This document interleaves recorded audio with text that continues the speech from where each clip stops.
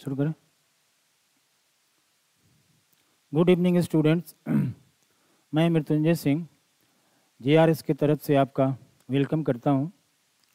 और ये जो दिन है कुछ खास होने जा रहा है आप सबके लिए। क्योंकि हम लोग लेके आ रहे हैं आप सबके लिए कम्युनिकेशन स्किल्स जैसा कि मैं लिख दिया हूँ, है ना?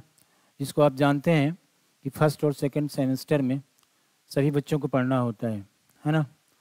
तो ये मेरे लिए भी और आपके लिए एक बहुत ही, एक अच्छा दिन है, एक खुशी का दिन है। तो मैं पुनः इस जे फैमिली की तरफ़ से आप सबका स्वागत करता हूँ। और आज मैं इस पहले लेक्चर में, पहली वीडियो में आपको बताने की कोशिश कर रहा हूँ कि आपको क्या क्या पढ़ना है है ना? और ये चीज़ बताऊँगा। और इसके पहले मैं थोड़ा सा ये बात कर दूँ, आपको बता दूँ कि इंग्लिश आपके लिए बहुत ही इम्पोर्टेंट है। है ना? इंग्लिश एक ऐसा भाषा है ना, जो सबके लिए कॉमन है, सबके लिए ज़रूरी है। चाहे वो कोई प्रोफेशनल हो या नॉन प्रोफेशनल हो, सबके लिए इंग्लिश बहुत ज़रूरी है। और एक बात आप जान लीजिए कि इंग्लिश जॉब लेने के लिए भी ज़रूरी है जॉब में बने रहने के लिए भी ज़रूरी है, और जॉब में प्रमोट होने के लिए भी ज़रूरी है। तो इंग्लिश को पढ़ना बहुत ज़रूरी है। अगर आपको इंग्लिश नहीं आती है ना तो आपका भी मन थोड़ा थोड़ा वो वो रहता है, अंदर से एक एक कमी दिखती है कि वो मुझे इंग्लिश नहीं आती और कहीं आप अपने को एक्सप्रेस नहीं कर पाते हैं। तो इस हिसाब से मैं भी आपको इंग्लिश सिखाऊँगा कि आपको थोड़ी बहुत एक्सप्रेशन भी आ जाए क्योंकि बहुत चीज़ पढ़ना है। तो मैं शुरू कर रहा हूँ। कम्युनिकेशन स्किल्स सबसे पहले बात मैं बता रहा हूँ आपको कम्युनिकेशन का मतलब क्या होता है? तो कम्युनिकेशन का मतलब होता है ना, जिससे मैं आपसे बात कर रहा हूँ, आप सुन रहे हैं। तो मैं अपनी बात आप तक पहुँचा रहा हूँ। तो ये क्या हो रहा है? हमारे और आपके बीच कम्युनिकेशन हो रहा है। तो कम्युनिकेशन का मतलब होता है कि to pass a message to pass a message from one to one other is called communication तो कम्युनिकेशन का मतलब हुआ कि इसका कॉन्सेप्ट हुआ concept concept of communication concept of communication में ये समझा रहा हूँ आपको, है ना? ये वास्तव में क्या चीज़ होता है? तो कॉन्सेप्ट ऑफ़ कम्युनिकेशन होता है, ये भी मैं बोला हिंदी में, कि एक मैसेज को एक व्यक्ति से दूसरे व्यक्ति के पास भेज देना ही क्या है? कम्युनिकेशन है। तो उसी को सिंपल इंग्लिश में मैं क्या लिख सकता हूँ? कि टू पास पास लिखें, या पास से बढ़िया वर्ड होता है कन्वे क्या होता है? मैसेज को हम क्या करते हैं? कन्वे करते हैं। तो कन्वे एक अच्छा वर्ड होता है तो टू पास या to convey a message a message from one to others या वन टू अनदर कुछ भी आप लिख सकते हैं one to another is called communication is called communication ये टर्म आपके लिए नया नहीं है। आप सुनते आ रहे हैं। कम्युनिकेशन नहीं हो रहा है। कम्युनिकेशन गायब हो गया है। है ना? आप अपने दोस्तों से कहते होंगे कि भाई देख, तुम्हारे और हमारे बीच आजकल कोई कम्युनिकेशन नहीं हो रहा है। मतलब कोई बातचीत नहीं हो रही है। तो इसी को हम क्या बोलते हैं? कम्युनिकेशन कहते हैं। और थोड़ी सी फिर मैं आगे थोड़ा सा बात कर देता हूँ। और इस तरह से कम्युनिकेशन आप समझ गए? तो कम्युनिकेशन दो तरह के होता है। एक होता है वर्बल और दूसरा होता है नॉन वर्बल जिसको हम बाद में आगे डिटेल्स में आपको बताएँगे। लेकिन अभी मैं बता दे रहा हूँ कि कम्युनिकेशन दो तरह के होते हैं। एक होता है वर्बल वर्बल का मतलब हो गया वर्बल का मतलब हो गया, देखिए बता रहा हूँ, है ना? जैसे वर्बल वर्बल का मतलब हुआ verbal communication verbal communication verbal का मतलब हुआ कि वो कम्युनिकेशन वो मैसेज जो हम बोल के करते हैं। जैसे हमारे और आपके बीच बातचीत हो रही है तो मैं बोल के अपनी बात आप तक पहुँचा रहा हूँ। तो हमारे बीच और आपके बीच क्या हो रहा है? वावल कम्युनिकेशन हो, हो रहा है। तो कहने का मतलब हुआ कि the communication the communication that that is conveyed that is convey अभी बोला कन्वे का मतलब क्या हुआ? पास करना एक दूसरे से, तीसरे के पास, तीसरे से चौथे के पास ले जाना दैट इज़ क्या हुआ? कन्वे हुआ। दैट इज़ कन्वेड है ना? In the words in the words by our vocal organs vocal organs vocal organs का मतलब हुआ बोलने वाले अंग जिसे हमारे बोलने वाले अंग क्या हैं? हमारा माउथ हो गया, टंग हो गया, टीथ हो गया, थ्रोट हो गया तो सबसे साउंड निकलते हैं अलग अलग है ना? तो वोकल ऑर्गन्स का मतलब हुआ कि हमारे जो बोलने में जो अंग यूज़ होते हैं, यानी माउथ के साथ टीथ, टंग, थ्रोट, है ना? आपको पीलेट, तालू जिसको आप बोलते हो, ये सारी चीज़ हमारे क्या हैं? वोकल ऑर्गन्स हैं। तो कहने का मतलब हुआ कि वर्बल कम्युनिकेशन वो कम्युनिकेशन होता है जो वोकल ऑर्गन्स के द्वारा शब्दों में कन्वे किया जाता है। मतलब शब्दों के सहारे हम पास करते हैं। जैसे आपके और हमारे बीच अभी बातचीत हो रही है, मैं समझा रहा हूँ, आप समझ रहे हैं तो हमारे और आपके बीच वर्बल कम्युनिकेशन हो रहा है। है ना? तो ये समझ जाएँगे। जैसे मैं देख देख एग्ज़ाम्पल में दे रहा हूँ आपको। जैसे speech speech by a teacher एक टीचर का दिया गया स्पीच ये क्या हुआ? वर्बल कम्युनिकेशन हुआ, है ना? उसके बाद देखिए dialogue dialogue of a movie किसी मूवी का डायलॉग क्या हो गया? ये वर्बल कम्युनिकेशन हो गया, है ना? कोई गाता है a song a song by somebody कोई अगर गीत गाता है तो गीत से भी हम मैसेज देते हैं ना? तो वो सॉन्ग गीत भी क्या है? गाना हम गाते हैं तो उसमें भी एक मैसेज होता है। तो गाना हम बोल के गाते हैं, इसलिए गाना भी क्या हो गया? वर्बल कम्युनिकेशन हो गया। तो ये बात आपको समझ में आ गई होगी, है ना? अब देखो थोड़ा सा एक और चीज़ बता रहा हूँ आपको। दूसरा होता है नॉन वर्बल कम्युनिकेशन क्या होता है? Non verbal communication non verbal communication तो देखो इसमें नन लगा हुआ है। नन का मतलब नहीं होता है। तो ऐसा कम्युनिकेशन जिसमें वर्बल हम नहीं बोलते हैं, यानी शब्द का यूज़ नहीं करते हैं, या तो हम लिख के करते हैं, या फिर इशारे से करते हैं, है ना? या कोई सिग्नल देते हैं, है ना? आपको अभी एग्ज़ाम हुआ था, अभी इस साल जो फ़र्स्ट सेमेस्टर का एग्ज़ाम हुआ था, उसमें आया था कि आँख मारना कौन सा कम्युनिकेशन है? तो आँख हमारा, हम दो तरह से, हमारी पलक जो टपकती है ना वो दो तरह से होती है। एक तो करता है वर्ड ब्लिक राहुल, सुन। ब्लिक माने होता है ना, हमारी जो पलकें खुद ब खुद गिरती है, उसको हम क्या करते हैं? ब्लिक करते हैं। यानी पलक हमारा गिरता है ऑटोमेटिक गिरता है, उसको क्या करते हैं? ब्लिक करते हैं। तो ब्लिक करके हम कोई मैसेज नहीं देते हैं। लेकिन आँख मारते हैं तो उसको हम क्या करते हैं? विंक करते हैं। विंक माने क्या हुआ? आँख मारना। तो विंक करते हैं, आँख से हम मैसेज देते हैं। तो आँख मारना किस, कौन सा कम्युनिकेशन हुआ? नॉन वर्बल कम्युनिकेशन हुआ। ये क्वेश्चन आपको अभी फ़र्स्ट सेमेस्टर में आया था इस साल, है ना? तो नॉन वर्बल कम्युनिकेशन का मतलब हुआ कि वो कम्युनिकेशन जिसको हम बोल के नहीं करते हैं, यानी लिख के करते हैं, इशारे में करते हैं, या कोई सिग्नल देते हैं, है ना? वो सब क्या है? नॉन वर्बल कम्युनिकेशन है। जिसे आप, जिसे बहुत सारे ग्राफिक्स आप पढ़ते हैं, है ना? आप बहुत सारे पिक्चर देखते हैं तो पिक्चर भी ये क्या है? एक नॉन वर्बल कम्युनिकेशन है। आप अपनी बचपन की तस्वीर देखते हैं तो आपको बचपन की सारी याद आ जाती है। तो तस्वीर आपको बोल देती है कि पहले की सारी वाली बात। तो ये पिक्चर क्या है? एक अपने आप में क्या है? कम्युनिकेशन है वो पिक्चर हमको ये क्या देती है? एक मैसेज देती है। तो पिक्चर भी क्या है? एक तरह का क्या है? नॉन वर्बल कम्युनिकेशन है। तो यानी कहने का मतलब हुआ, इसको मैं बॉक्स में बना देता हूँ, अलग से बताया। ब्लिंक का ब्लिक का मतलब हुआ, है ना? ऐसे आँख गिरना और विंग का मतलब क्या हुआ? जानबूझ के आँख मरना, है ना? तो कहने का मतलब हुआ कि the communication the communication that is conveyed that is conveyed है ना? कन्वेड बाय राइटिंग है ना? उसके बाद सिग्नलिंग। सिग्नल भाव हुआ, सिग्नलिंग नाउन हो गया। By signalling. और पॉइंटिंग आउट। पॉइंट आउट मतलब क्या होता है? इशारा करना। Pointing out. Pointing out. है ना? Is called non verbal communication is called non verbal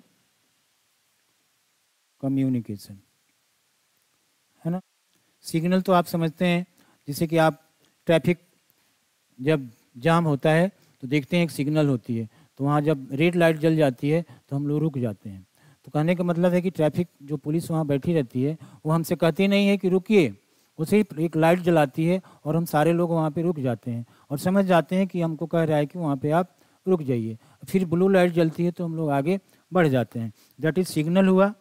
और राइटिंग तो आप समझती हैं लिख कर और पॉइंट आउट करते हैं मतलब कोई चीज़ इशारा करते हैं। जैसे हम गुस्साते हैं कभी कभी तो उंगली उंगली उठाते हैं। तो उंगली उठाते हैं तो क्या करते हैं? हम डराने की कोशिश करते हैं। तो उंगली उठाना क्या हुआ? मैं बोल नहीं रहा हूँ, या आप बोल नहीं रहे होते हैं उस टाइम उंगली उठाते हैं। तो उंगली से उठा के आप उसको क्या करते हैं? डराते हैं। तो उंगली से किसी को डराना क्या हुआ? ये भी क्या हुआ? नॉन वर्बल कम्युनिकेशन हुआ। तो एग्ज़ाम्पल में आपको देखो, मैं दिखा रहा हूँ। है ना? एग्ज़ाम्पल में एज में दिखा रहा हूँ। है ना? एज जैसे a letter a letter to the principal आप प्रिंसिपल के यहाँ एक लेटर लिखते हैं तो क्या है? लिख के देते हैं। तो क्या है? नॉन वर्बल कम्युनिकेशन हुआ क्योंकि आप बोल नहीं रहे हैं। दूसरा क्या हुआ? A picture a picture in your hand आपके हाथ में कोई तस्वीर है तो पिक्चर क्या है? एक नॉन वर्बल कम्युनिकेशन है इन योर हैंड क्या हुआ? नॉन वर्बल कम्युनिकेशन हुआ, है ना? अब देखो, एक और बड़ा सुंदर नॉन वर्बल कम्युनिकेशन है। आपसे कोई पूछता है कि आप इसको जानते हैं तो आप ऐसे ऐसे गर्दन को कर देते हैं। क्या पता? ऐसे करते हैं। तो ये भी क्या है? कम्युनिकेशन हुआ, बोलते नहीं है, सीधा ऐसे करते हैं। इसको बोलते हैं श्रग क्या बोलते हैं? टू श्रग सोल्जर है ना? आपसे कोई पूछता है, छोटे बच्चे से आप पूछते हैं कि भूख लगी है तो छोटा बच्चा सर हिला देता है हाँ ऐसे करता है। ये भी क्या है कम्युनिकेशन है, और नहीं लगी है तो क्या करता है, ऐसे करता है है ना जी? तो ये भी क्या है कम्युनिकेशन है तो उसको भी बोलते हैं to nod. Rahul to nod. To nod का मतलब क्या होता है? हाँ में सर हिलाना। हाँ में सर को हिलाना। वही हाँ में सर को हिलाना। नोट करते हैं आप, सर हिलाते हैं। और जब नहीं आपको बोलना होता है तो क्या करते हैं? सेक करते हैं। To shake. To shake. इसका मतलब हुआ, ना में सर को हिलाना। ना में सर को हिलाना। तो देखिए, आप यहाँ कुछ बोल नहीं रहे हैं, है ना? आप सिर्फ़ सर सर हिला रहे हैं और एक मैसेज पास हो जा रहा है। ये सारे चीज़ क्या हुआ? नॉन वर्बल कम्युनिकेशन हुआ, है ना? तो ये तो कम्युनिकेशन टर्म मैंने आपको क्लियर कर दिया।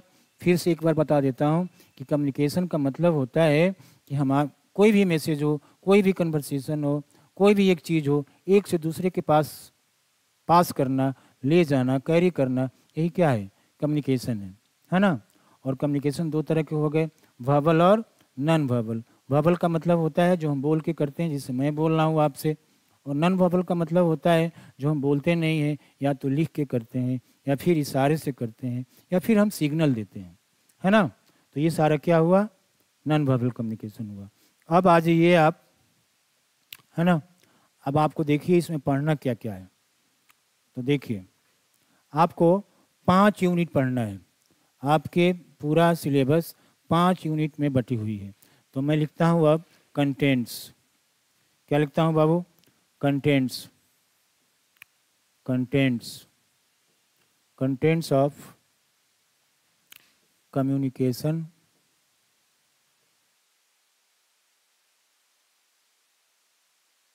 skills, है ना? Contents of communication skills contents का मतलब क्या हुआ? सिलेबस समझ रहे हैं ना? सिलेबस ही आपको बता रहा हूँ। यानी उसमें क्या क्या पढ़ना है उन सारी हम बात को मैं बता रहा हूँ। तो कंटेंट्स आपको समझ गए होंगे। तो देखो, पहला जो यूनिट है ना फ़र्स्ट यूनिट है फ़र्स्ट यूनिट देखो फ़र्स्ट यूनिट जो फ़र्स्ट यूनिट है, उसमें देखो क्या क्या पढ़ना है। उसमें पढ़ना है communication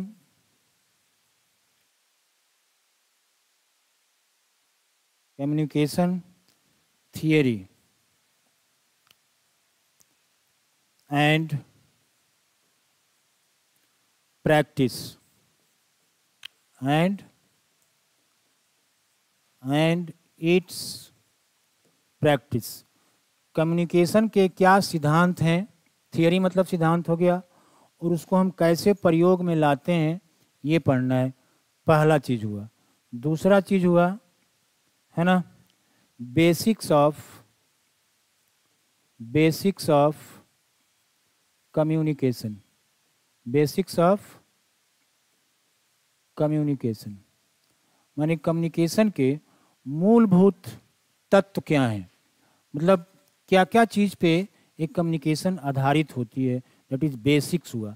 आप बेस पढ़ते होंगे, आपके लिए टेक्निकल शब्द है बेस बेस कोई नया शब्द नहीं है। उसी में हमने एस लगा के उसको क्या बनाया? नाउन बनाया। तो बेसिक्स हो गया तो बेसिक्स का मतलब हुआ कि कम्युनिकेशन के वो मूलभूत जो एलिमेंट है ना जो मेन एलिमेंट्स हैं, जो तत्व हैं, वो कौन कौन है, ये आपको हम पढ़ाएँगे। तो इसमें आपको ये पढ़ना है बेसिक्स ऑफ़ कम्युनिकेशन उसके बाद अगला जो है types of types of communication इसमें पढ़ना है बाबू type of types of communication यानी कहने का मतलब होता है कि कम्युनिकेशन कितने तरह के होते हैं तो मैं आपको अभी बताया कि कम्युनिकेशन दो तरह के हो गए वर्बल और नॉन वर्बल है ना? जो मैं शुरू में ही बता दिया। उसके बाद आप आइए, है ना? है ना? ऐड है ना? उसके बाद आइए आप यूनिट दो में। यूनिट दो। सेकंड, यूनिट सेकंड में आ जाइए आप। तो यूनिट सेकंड में पढ़ना है आपको effective communication. Effective communication. Effective communication. देखो, इफ़ेक्टिव कम्युनिकेशन का मतलब हुआ कि ऐस, प्रभावशाली कम्युनिकेशन मतलब ऐसा कम्युनिकेशन जिस, जो आप कन्वे करते हो तो अगले पे क्या पड़े? उसका असर हो। तो कैसे हम कम्युनिकेशन करेंगे? कैसे हम मैसेज करेंगे? कैसे हम कोई लेटर लिखेंगे? कैसे हम बातचीत करेंगे? कि अगला जो सुनता है या हम जिससे करते हैं, उस पर प्रभाव पड़े। यानी वो हमारी हमारी बातचीत से प्रभावित हो जाए। उसके बारे में हम पढ़ेंगे। इफ़ेक्टिव कम्युनिकेशन तो ये कैसे करते हैं? ये आगे की चीज़ है। मैं सिर्फ़ टर्म समझा रहा हूँ। इफ़ेक्टिव कम्युनिकेशन क्या होता है? जब क्लास आपको पढ़ाऊँगा तो इसको मैं क्लियर करूँगा, इसमें क्या क्या होता है? आप आज पहली, पहला आपका क्लास है, पहली वीडियो है तो आप सिर्फ़ इस टर्म को समझिए। यानी इफ़ेक्टिव कम्युनिकेशन का मतलब हुआ कि असरदार कम्युनिकेशन जोरदार कम्युनिकेशन ऐसा कम्युनिकेशन जिसके पास हम भेजते हैं, वो सुन के क्या हो जाए? प्रभावशाली हो जाए इम्प्रेस्ड हो जाए, उसी को हम क्या बोलेंगे? इफ़ेक्टिव कम्युनिकेशन और उसके बाद यूनिट थर्ड में आइए। यूनिट थर्ड, है ना? तो देखो, यूनिट थर्ड में है आपको, ये बड़ा सुंदर है। पहला जो चीज़ है बाबू, वो है reading comprehension reading comprehension comprehension है ना? जिसको आप शॉर्ट में क्या बोलेंगे? आर सी बोलेंगे। आर मने रीडिंग, सी मने क्या हो गया? कंप्रीहेंशन तो देखो रीडिंग कंप्रीहेंशन में आपको क्या होता है? आप कंप्रीहेंशन आपके लिए नया टर्म नहीं है। कंप्रीहेंशन का मतलब हुआ कि आपको एक पैराग्राफ दिया रहेगा, है ना? और उसको पढ़ के कुछ क्वेश्चन का आंसर देना रहेगा। डेट इज़ क्या हुआ? रीडिंग कंप्रीहेंशन तो रीडिंग कंप्रीहेंशन में आपको क्या क्या पढ़ना है देखिए, ये मैं आपको बता रहा हूँ। तो पहला है, जो आपको पढ़ना है, ये बड़ा सुंदर कहानी की एक बुक है, Malgudi, Days. Malgudi, Days. ये एक कहानी की किताब है, जिसमें बहुत सारी कहानियाँ हैं। तो उसी में से एक कहानी को आपको पढ़ना है, यानी ये माल, गुड़ी, डेज़। और ये किसका है? एक बड़े अच्छे राइटर हैं, जिसको आप जानते होंगे। आर के नारायण के द्वारा लिखा गया है। आर के नारायण। आपकी सिलेबस इतनी अच्छी है ना, कि मैं क्या बताऊँ? पढ़ाऊँगा तो आपको बड़ी मज़े आएँगे, बड़े अच्छे लगेंगे। है ना? लगता नहीं है कि टेक्निकल और मतलब एक टेक्निकल स्टूडेंट को पढ़ाया जा रहा है। लगता है कि जैसे कोई लिटरेचर का स्टूडेंट है, उस तरह से आपका सिलेबस है। तो बड़ी मज़ा आने आने जा रहा है, क्योंकि मेरा सब्जेक्ट लिटरेचर है है ना? और मैं इंग्लिश एम में हूँ भाई, और कॉलेज में भी पढ़ाता हूँ। ये तो कहने की चीज़ नहीं है, लेकिन बता देता हूँ, आपको बड़े मज़े आने जा रहे हैं। तो मालगुड़ी डेज़ है ना? एक कहानी की किताब है, उसी की आपको पढ़ना है, और उसका राइटर कौन है? आर के नारायण और दूसरा है, देखिए आपको पढ़ना है वाट ये आप पढ़े होंगे what student what students can do ये बड़ी सुंदर चीज़ है। इसको महात्मा गांधी ने लिखा है। ये एक ऐसे है, एक थॉट है मोटा मोटी इससे तो नहीं कहेंगे, एक थॉट है है ना? जिसको महात्मा गांधी ने दिया है कि छात्र क्या कर सकते हैं। है ना? तो उस पर उन्होंने अपना विचार दिया है। तो वाट स्टूडेंट्स कैन डू ये किसके द्वारा लिखा गया है? एम के गांधी के द्वारा लिखा गया है। एम के गांधी मोहनदास करमचंद गांधी आपने सुना होगा। तो ये दूसरा हुआ, फिर तीसरा देखिए कितना बढ़िया चीज़ है आपको, है ना? तीसरा है the secret of the secret the secret of work है ना? काम करने का रहस्य, राज। मतलब हम काम कैसे करें कि काम हमारा क्या हो, सफल हो, है ना? ये आपको शायद समझ में आ गया होगा, ये कौन लिखा होगा? अगर नहीं आ गया होगा तो मैं बता रहा हूँ, इसको लिखा है स्वामी विवेकानंद ने। देखो कितना बढ़िया राइटर है। स्वामी विवेकानंद। स्वामी विवेकानंद के द्वारा लिखा गया ये चीज़ है what the secret of work है ना? काम का, काम करने का राज मिस्ट्री उसके बाद, आइए यहाँ पे डी में आइए। उसके बाद पढ़ना है stopping stopping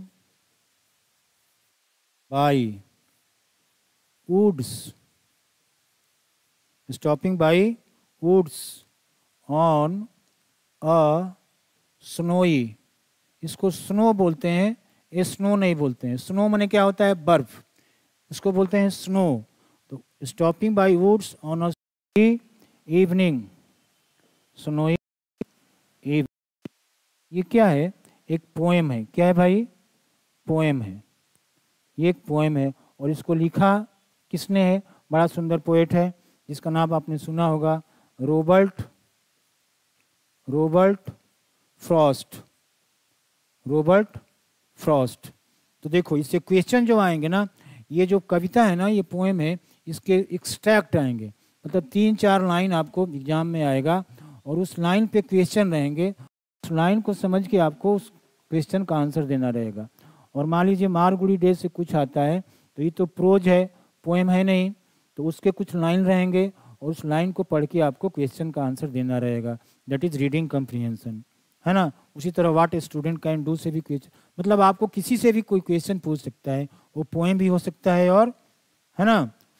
आपको प्रोज भी हो सकता है। उसके बाद आपको पढ़ना है। देख, बड़ा सुंदर है। है ना? उसके बाद पढ़ना है। ई उसके बाद पढ़ना है आपको where a mind is without is without fear. Where the mind is without fear, ये रविन्द्रनाथ टैगोर के द्वारा लिखी गई कविता है R N Tagore R N Tagore. और आपको बता दूँ, ये रविन्द्रनाथ टैगोर ने एक किताब लिखी है जिसका नाम है गीतांजलि। तो उसको हम द गीतांजलि बोलते हैं। जितने नोटेड बुक है ना, सबके साथ द का यूज़ किया जाता है। आर्टिकल आपने पढ़ा होगा। है ना? जिसे रामायण के साथ हम द रामायण लिखते हैं, द गीता लिखते हैं, द बाइबल लिखते हैं, है ना? और जितने मैगजीन्स होते हैं, उसके साथ भी न्यूज़पेपर्स होते हैं, सबके साथ हम द लगाते हैं। तो डिस्कवरी, सॉरी, ये रविन्द्रनाथ टैगोर ने जो लिखा है, उस किताब का नाम है, उसी से ये लिया गया है। Where the mind is mind is without fear जिसका नाम है गीतांजलि। तो दी गीतांजलि हम बोलेंगे, सिर्फ़ गीतांजलि नहीं बोलेंगे। तो आपको इतना ही जानना है, इसका पोएट कौन है? रविन्द्रनाथ टैगोर। और कविता का क्या नाम है? Where the mind is without fear मतलब जहाँ हमारा, वो जगह जहाँ हमारे मन में कोई भय नहीं हो। यहाँ माइंड का मतलब दिमाग नहीं, मन माइंड का मतलब यहाँ मन होगा। ये मैं आपको पढ़ाऊँगा जब पोइम पढ़ाऊँगा तो। है ना? और उसके बाद है है ना? आप देखिए O to wood O to O to solitude O to solitude या वोड ऑन सॉलिट्यूड भी लिख सकते हैं। कविता में ऑन है, मैं टू लिखा वोड के साथ टू भी लगता है। जिसे कीट्स ने लिखा है O to autumn O to autumn. Tele का एक पोएम है, कीट्स ने भी लिखा है। तो पी वी सेली ने एक पोएम लिखा है ओ टू आटम। आटम मैंने क्या हो गया? पतझड़। अब देखिए वोड का मतलब क्या होता है, मैं आपको बता देता हूँ। ये क्या है? पोएम है। क्या है भाई? पोएम है। और इसको लिखा कौन है? डब्ल्यू एच डब्ल्यू एच है ना? सॉरी अलेक्जेंडर पोप इसको लिखा है अलेक्जेंडर अलेक्जेंडर पोप कौन लिखे हैं भाई? अलेक्जेंडर पोप लिखे हैं। है ना? इसके राइटर कौन है? अलेक्जेंडर पोप हैं। तो ओड का मतलब होता है, देखो मैं समझा देता हूँ। ओड का मतलब होता है ये kind of poem that that is sung एक तरह की कविता जिसे हम गाते हैं और कैसे गाते हैं? In the praise of somebody of something किसी के बड़ाई में ऐसी कोई कविता लिखी जाए जिसको हम गाते हैं, यानी वो लिरिक हो, उसी को हम क्या बोलते हैं? ओड बोलते हैं। तो सॉलिट्यूड का मतलब होता है एकांत। सॉलिट्यूड का मतलब क्या हुआ? एकांत। जिसको उर्दू में बोलते हैं, तन्हाई। उर्दू में क्या बोलते हैं भाई? तन्हाई बोलते हैं। तो तन्हाई के ऊपर एक गीत है। तो ये क्या है? एक लिरिक है। ये कैसी कविता है भाई? एक लिरिक है। आपके लिए लिरिक वर्ड आप जानते होंगे। लिरिक माने क्या होता है? गीत। लिरिक माने क्या होता है? गीत, जिसको हम गाते हैं। है ना जी? तो ओ टू सॉलिट्यूड हो गया। ये आपको लेजेंडर पोप ने लिखा है। फिर अगली पोएम है। एक बड़ी सुंदर पोएम है। A psalm P S L M psalm of life psalm of life यहाँ पे पी साइलेंट है, राहुल। यहाँ पे पी साइलेंट है। और साम ऑफ़ लाइफ और साम ऑफ़ लाइफ इसको लिखा है W H Longfellow W H Longfellow ने इसको लिखा है। ये भी एक कविता है। अब देखो शाम बता रहा हूँ। शाम का मतलब होता है भजन। कीर्तन, जिसका दूसरा वर्ड होता है hymn H Y M N hymn माने क्या होता है भाई? भजन। है ना जी?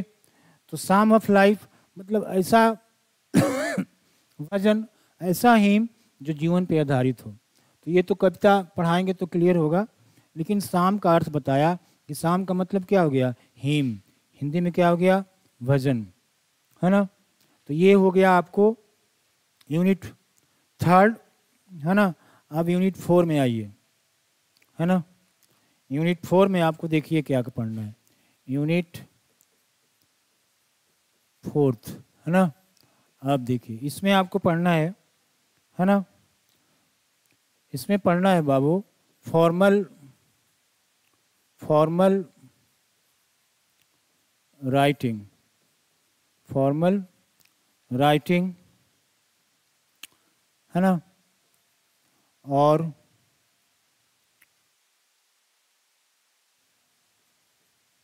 है ना फॉर्मल राइटिंग या फिर professional writing professional professional writing है ना प्रोफेशनल राइटिंग यानी फॉर्मल राइटिंग क्या होती है? और प्रोफेशनल राइटिंग क्या होती है? इसमें आपको ये पढ़ना है। और दूसरा है है ना? इसमें आपको दूसरा जो पढ़ना है, वो है आपको एप्लीकेशन क्या पढ़ना है? एप्लीकेशन पढ़ना है। मतलब एप्लीकेशन कैसे लिखा जाता है, ये आपको पढ़ना है। उसके बाद तीसरा में पढ़ना है है ना? ईमेल। आप ईमेल भेजते होंगे। ईमेल हम कैसे लिखते हैं, ये आपको पढ़ना है। है ना? उसके बाद चौथा में पढ़ना है है ना? मैसेज। क्या पढ़ना है भाई? मैसेज। हम किसी को मैसेज कैसे लिखते हैं, ये पढ़ना है। उसके बाद देखिए, पांचवा जो है, उसके बाद आपको पढ़ना है है ना? Notice writing. क्या पढ़ना है? Notice writing. नोटिस कैसे लिखते हैं, ये पढ़ना है। उसके बाद देखिए, है ना?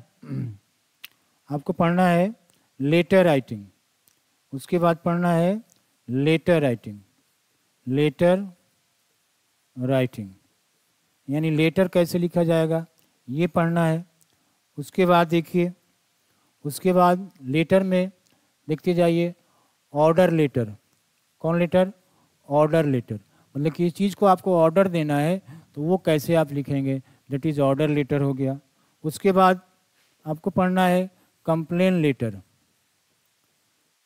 कंप्लेन लेटर यानी कोई चीज़ आपने ख़रीदा, आपने ऑनलाइन कोई चीज़ मंगाया और वो सामान ख़राब निकल गया तो आप क्या करते हैं? कंप्लेन करते हैं तो उसको कैसे लिखते हैं? दैट इज़ कंप्लेन लेटर और ऑर्डर लेटर मतलब आपको कोई चीज़ मंगाना है, कोई बुक मंगाना है, कोई कोई भी चीज़ मंगानी है कहीं से तो उसको आप लेटर लिखते हैं तो उसी को बोलते हैं ऑर्डर लेटर तो कंप्लेन लेटर हो गया ऑर्डर लेटर हो गया उसके बाद देखिए, आपको पढ़ना है रिपोर्ट राइटिंग क्या पढ़ना है?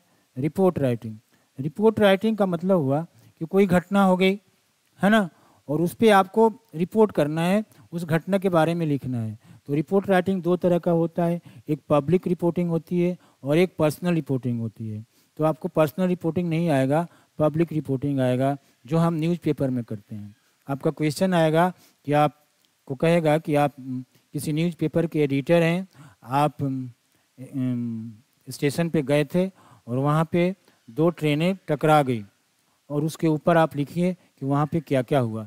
यानी एक रिपोर्ट तैयार कीजिए और अपने पेपर को, अपने न्यूज़ मैगजीन को या न्यूज़ पेपर को वो रिपोर्ट बना के भेजिए ताकि अगले दिन वो समाचार बन के छप जाए। है ना? तो आप जैसे लिखेंगे एडिटर उसको पढ़ेगा और पढ़ के रीड करके उसको न्यूज़ बना के पेपर में छाप देगा। तो दैट इज़ रिपोर्ट राइटिंग हुआ। तो रिपोर्ट दो तरह का, पब्लिक रिपोर्टिंग और एक पर्सनल रिपोर्टिंग। तो पर्सनल रिपोर्टिंग जो होती है, वो एक ऑर्गेनाइजेशन करती है, जिसे हम लोग मान लीजिए जे आर एस हैं। तो जे आर एस एक हमारी बहुत बड़ी संस्था है। तो जे आर एस के बारे में मैं कुछ लिखता हूँ और उसको पब्लिक करता हूँ तो क्या हुआ? पर्सनल रिपोर्टिंग हुआ। क्योंकि एक एक एक मैं सिर्फ़ अपना लिख रहा हूँ, लेकिन स्टेशन पे कुछ हो गया या किसी शहर में कुछ हो गया, और उसको जो जर्नलिस्ट करते हैं, रिपोर्ट करते हैं, वो पब्लिक रिपोर्टिंग होती है। यानी वो आम जनता की चीज़ होती है। तो दो तरह का रिपोर्टिंग हुआ पब्लिक रिपोर्टिंग और पर्सनल रिपोर्टिंग तो दैट इज़ रिपोर्ट राइटिंग हो गया। और उसके बाद देखिए, है ना? उसके बाद पढ़ना है आपको application to application to somebody S B मतलब somebody for a job job के लिए एप्लीकेशन आप कैसे लिखेंगे? है ना? ये आपको पढ़ना है। तो ये फोर्थ यूनिट में आपको इतना चीज़ पढ़ना है। और उसके बाद आइए आप fifth unit unit unit fifth है ना? अब देखिए इसमें क्या क्या पढ़ना है। ये फिफ्थ जो यूनिट है आपका, ये पूरा ग्रामेटिकल है है ना? इसमें ग्रामर से रिलेटेड आपको चीज़ पढ़ना है। आपको वर्ड पावर पढ़ना है सिनोनिम पढ़ना है इंटोनिम पढ़ना है वन वर्ड सब्सिट्यूशन पढ़ना है। सिनोनिम का मतलब हुआ प्रायवाची शब्द हिंदी में आप जानते होंगे। और एंटोनिम का मतलब हुआ विलोम शब्द, उल्टा शब्द, है ना? तो ये सारा चीज़ पढ़ना है। मैं आपको लिख के बता रहा हूँ क्या क्या पढ़ना है। तो यूनिट फाइव में आप पहला हो गया, सिनोनिम। सिनोनिम। सिनोनिम का मतलब हुआ, है ना? समानार्थक शब्द। समानार्थक समानार्थक शब्द, है ना? दैट इज़ सिनोनिम हुआ। उसके बाद देखिए, है ना? उसके बाद पढ़ना है आपको एंटोनिम एंटोनिम पढ़ना है। एंटोनिम का मतलब हुआ विलोम शब्द, उल्टा शब्द। विलोम शब्द, है ना? ये आपके लिए नया नहीं है, आप जानते ही होंगे। उसके बाद पढ़ना है सी में क्वेश्चन टैग क्वेश्चन टैग्स ये भी आप पढ़े होंगे टेंथ में क्वेश्चन टैग्स क्या होता है? है ना? अगर नहीं पढ़े होंगे तो मैं तो पढ़ाने जा ही रहा हूँ आपको आपको अच्छे से समझाएँगे। उसके बाद देखिए, है ना? Remove to remove to T W मतलब किसी वाक से हम टू को कैसे हटाएँगे? ये भी आप टेंथ में पढ़े होंगे। रिमूव टू हो गया। उसके बाद बढ़िए है ना? उसके बाद आप देखिए interchange of interchange of voices interchange of voices यानी वॉइस को कैसे हम चेंज करते हैं? एक्टिव से पैसिव कैसे बनाते हैं? पैसिव से एक्टिव कैसे बनाते हैं? ये आपको पढ़ना है। इंटरचेंज ऑफ़ वॉइसेज उसके बाद आपको पढ़ना है interchange of interchange of narrations interchange of narrations narration भी आप टेंथ में पढ़ के आए होंगे, है ना? दो तरह के नरेशन होते हैं। एक को बोलते हैं हम डायरेक्ट नरेशन और दूसरे को इनडायरेक्ट नरेशन यानी डायरेक्ट नरेशन और इनडायरेक्ट नरेशन तो डायरेक्ट से इनडायरेक्ट कैसे बनाएँगे? इनडायरेक्ट से डायरेक्ट कैसे बनाएँगे? ये सब सारी चीज़ आपको पढ़ना है और इससे क्वेश्चन तो आता ही आता ही है है ना? दो क्वेश्चन तो पक्का रहता है। दो नंबर का नरेशन पक्का रहता है। दो नंबर का वॉइस पक्का रहता है है ना? उसके बाद आ जाइए। पंक्चुएशन पंक्चुएशन का मतलब होता है ना, चिन्ह विचार, यानी कॉमा कहाँ लगाना है, कहाँ फुल स्टॉप लगाना है, कहाँ हमको क्वेश्चन लगाना है, कहाँ पे हमको साइन ऑफ़ एक्सक्लामेशन लगाना है है ना? कहाँ पे कोलन लगाना है, कहाँ पे सेमी कोलन लगाना है, कहाँ पे हाइफन देना है तो ये सारा चीज़ आपको, और इससे भी क्वेश्चन रहता है।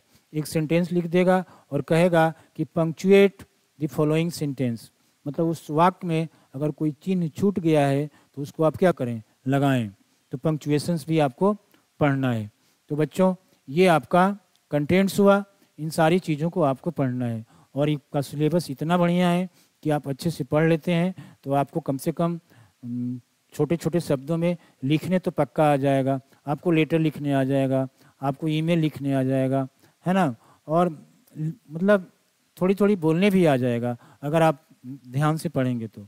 और रही बात, आपका वोकैब भी बढ़ जाएगा, आपका वर्ड पावर भी अच्छा हो जाएगा, है ना? और एक और चीज़ इसमें पूछा, पूछता है है ना? आजकल ऐड किया है one word substitution one word substitution one word substitution का मतलब होता है, अनेक शब्दों के बदले एक शब्द, है ना? इसका मतलब हो गया अनेक शब्दों के बदले, है ना? एक शब्द एक शब्द, है ना? अनेक शब्दों के बदले एक शब्द। आप हिंदी में भी जानते हैं अनेक शब्दों के बदले एक शब्द, है ना? जिसके हाथ में चक्र हो तो आप क्या पढ़ते हैं? चक्रपाणी। नहीं? जिसके चार हाथ हो, चतुर्भुज, जिसके दस सिर हो, दशानन। है ना? ये सारे आप हिंदी में पढ़े होंगे। है ना? तो वही चीज़ का अंग्रेज़ी भी यहाँ पे आपको पूछेगा।